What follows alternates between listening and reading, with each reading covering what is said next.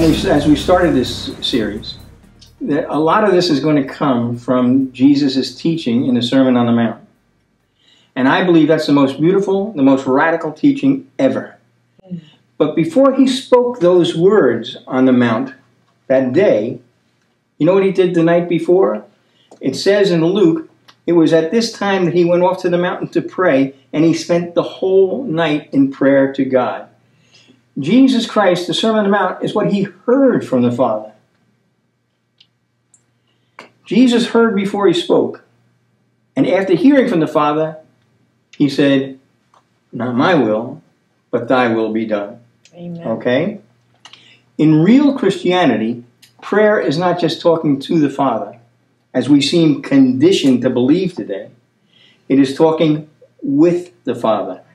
Jesus heard first what he spoke. And that should lead to us thinking like him. You see, hearing from God is supposed to change your thinking. Absolutely. We, we too often demonstrate that we believe that us talking to him is supposed to change his thinking. Right. I mean, really, think about it. That's what. we try to How much convince of your him. prayer, how much of your prayer life is you're trying to change God's thinking? Right. We, we try to convince him of our desires, Right. not you Yes. taking into account. Right. It's his desires we need to be doing. Our prayer life is about changing our thinking. That's right. You know, Alice and I, we do. We've spent a lot of time in the in over the last ten years in the United Kingdom in ministry, spending a lot of time there.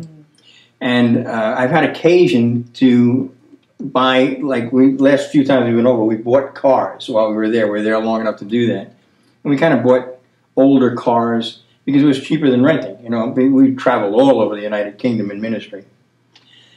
So we ran across what's called an MOT in the United Kingdom. Now, M- MOT comes from the Ministry of Transportation Right. and it's a vehicle inspection. Okay, it's an annual vehicle inspection that's required throughout the United Kingdom. Every year, everybody, you know, has to take on the anniversary of their last MOT has to take it and have it inspected to find out if there's any faults, if there's any problems. Right? That's similar to many states in the United States. Yeah, that have vehicle inspections. Yes, but this is nationwide in the. United Kingdom. exactly. and it is called an MOT. So a few years back, during one of our uh, extended stays in the UK, as I say, I purchased an older automobile, Mm. and it was coming due for an MOT. Mhm. And as the car was coming due for that, Alice and I were driving over to North Wales to partake in a conference there. And as I was speaking at that conference, it dawned on me that's code for the Holy Spirit getting my attention, by the way that as a vehicle was checked to make sure that everything was in proper working order. This conference that we were at was God's MOT. He had gather, gathered us, all of us believers, to modify our thinking. Yes. that was our. That was God's MOT, right? His purpose was and is to change us, to correct and grow us, to mature us, to transform and conform us. You know, David prayed and he said, Search me, O God, and know my heart. Try me and know my anxious thoughts. That's Psalm 139, verse 20, 23. That's that inspection. That's that MOT. And we're not to be conformed to this world, but to be transformed by the renewing of our minds, so that you may prove what the will of God is, that which is good and acceptable and perfect. Romans 12, 2. Listen, listen now. From Romans 8, 29, he says, For those whom he foreknew, he also predestined to become conformed to the image of his Son, so that he would be the firstborn among many brethren. But we all, with unveiled face, beholding as in a mirror the glory of the Lord, are being transformed into the same image from glory to glory, just as from the Lord the Spirit. That's 2 Corinthians chapter 3. See, it says in Isaiah, quite a few places, and in Jeremiah, that, that God is the potter. Yes. We're the clay, right? just- that's what I was just thinking about. Okay. He's still molding us and shaping us and changing us. And how we seem to fight it so. The flesh likes comfort and resists change. And that leads to so many of the traditions that we have in the church.